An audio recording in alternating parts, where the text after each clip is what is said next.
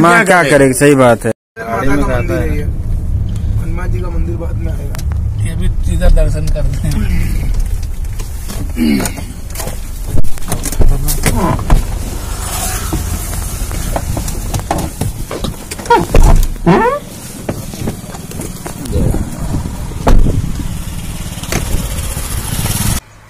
Area है यहीं पे माँ चुड़ैल का मंदिर है और इसी मंदिर पे जो है कि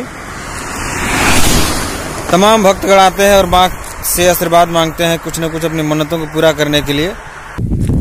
और माँ के मंदिर पर भी मैं ले चलूँगा पर आपको दिखा दे रहा हूँ इस तरह जो है ना। माता जी को जो है कि यहाँ पे इस तरह की साड़ी चुंदड़ी लोग चढ़ाते हैं और तमाम मन्नत मन्नत भी जो होता है उनकी पूरी होती है।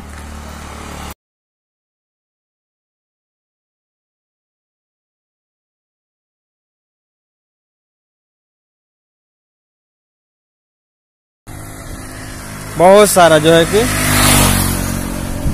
आप देख रहे हैं। इस तरह से माँ को लोग अर्पण किए हैं चुंदड़ी। यही इनका यहाँ पूजा पाठ का तरीका है। माँ को साड़ी, चुंदड़ी अर्पण किया जाता है। और तमाम ख्वाहिशों को लेके लोग आते हैं और माँ से, माँ के दर पे माथा टेकते हैं और आशीर्वाद मांगते हैं। की शादी नहीं होती है। जो जिसका बच्चा नहीं होता है बिल्कुल। वो यहाँ आते मन्नत ले, लेके जाते उसका काम हो जाता है फिर वो मन्नत करवा में आती है। आइए चलते हैं सीधे माँ के मंदिर की तरफ़।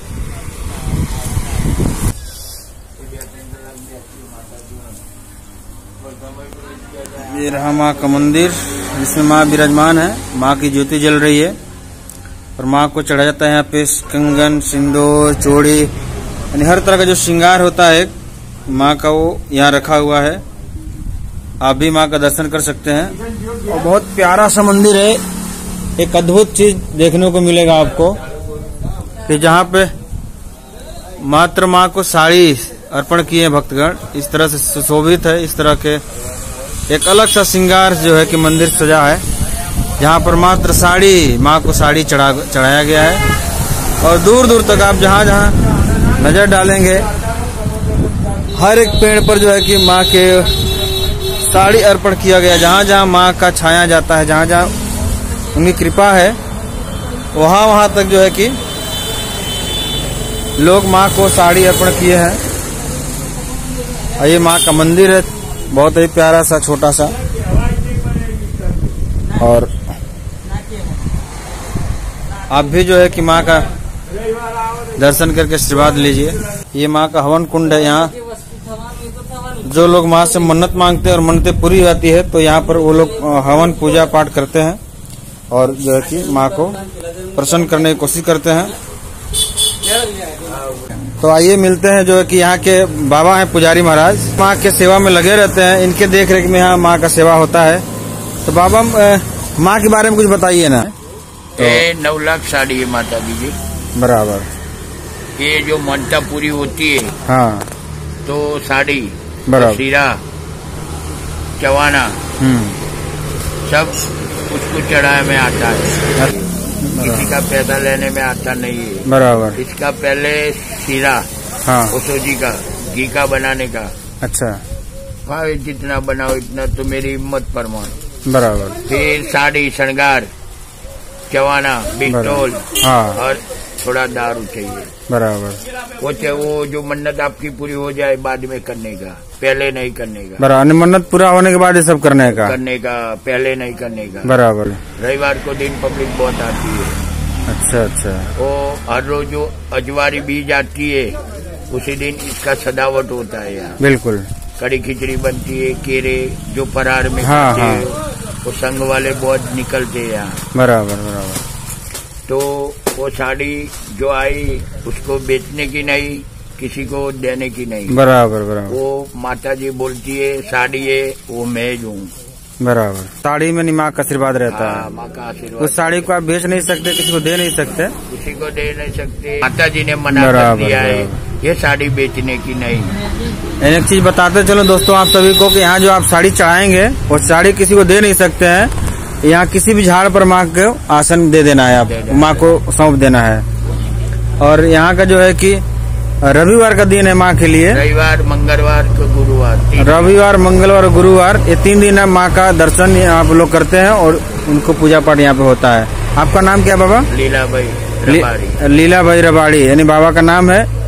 और माँ का उत्पत्ति कैसे हुआ इनका? माँ की उत्पत्ति ऐसा हुआ यहाँ एक्सीडेंट बहुत होता था। बराबर। नैनपुर फाटक से नैनपुर चौकड़ी तक।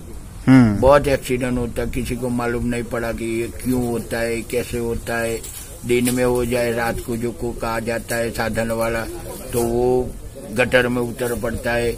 मेरे को मालूम था कि ये जगह पे कुछ कुछ कोई आत्महत्या रखती है। बिल्कुल बिल्कुल। ये मेरे को मालूम पड़ गया। बराबर।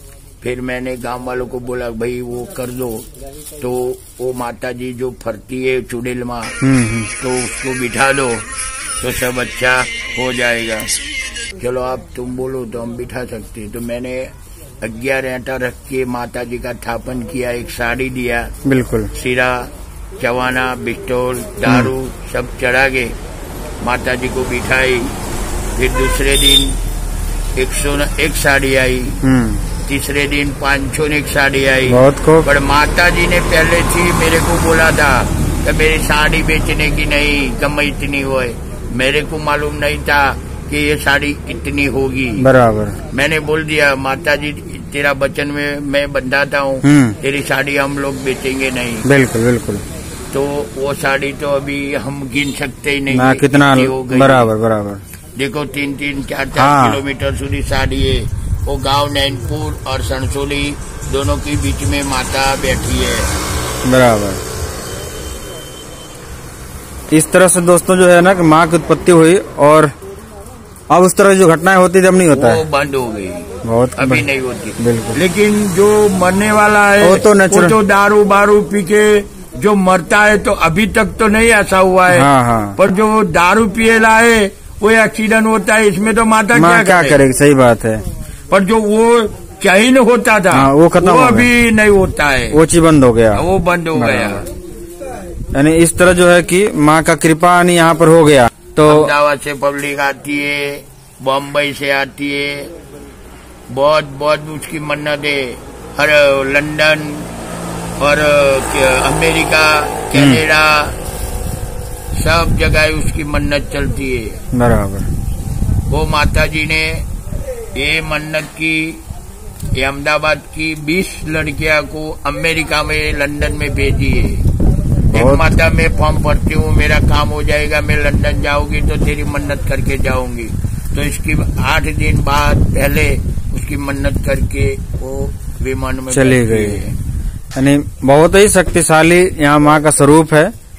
तो यानी बहुत अच्छा लगा आज मिल के बाबा से भी मुझे कि इस तरह का यहाँ शक्ति है और जो कि अब यहाँ पे किसी तरह की अनहोनी नहीं होती है दोस्तों। ये माँ का शक्ति है, उनकी कृपा है भक्तों पर। और जिनकी सेवा दिन प्रतिदिन बाबा करते रहते हैं तो आप कभी भी इधर गुजरिए तो प्लीज़ आप माँ का आशीर्वाद लीजिए, माँ के साथ साथ बाबा का भी आशीर्वाद लीजिए और अपनी मन्नत को पूरा कीजिए। फिर मिलेंगे अगले वीडियो में और देखेंगे और कुछ भी। तब तक के लिए हमें दीजिए इजाज़त। नमस्ते प्रणाम। जय माता दी।